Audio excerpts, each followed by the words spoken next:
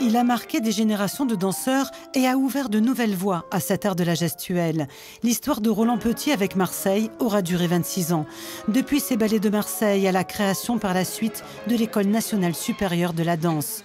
Pedro Consuegra est un ancien directeur des ballets de l'opéra et l'a bien connu.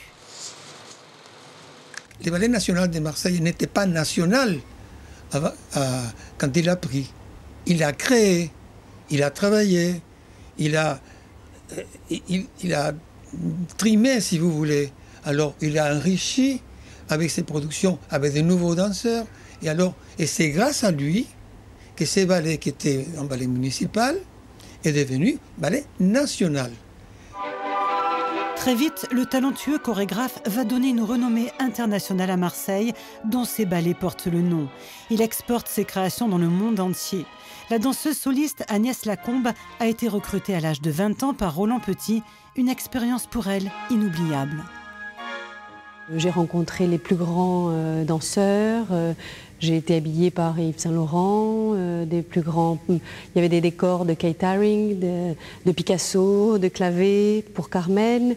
j'ai travaillé avec Dominique Alfouni.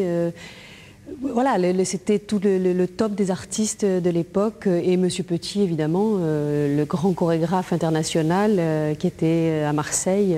moi qui suis du Sud, pour moi c'était une chance. En 1992, Roland Petit obtiendra enfin son haut lieu de la danse avec la création de son école supérieure dotée de sept salles. Il y restera six ans, le temps de donner à ce lieu toute sa dimension.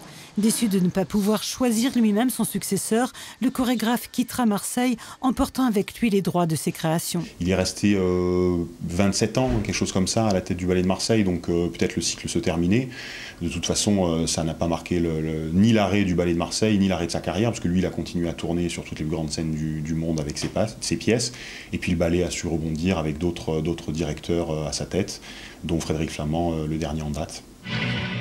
À Marseille, les amis et admirateurs de ce maître de l'éclectisme n'oublieront certainement pas ce grand moment de rencontre à l'opéra entre son ballet et le groupe Pink Floyd.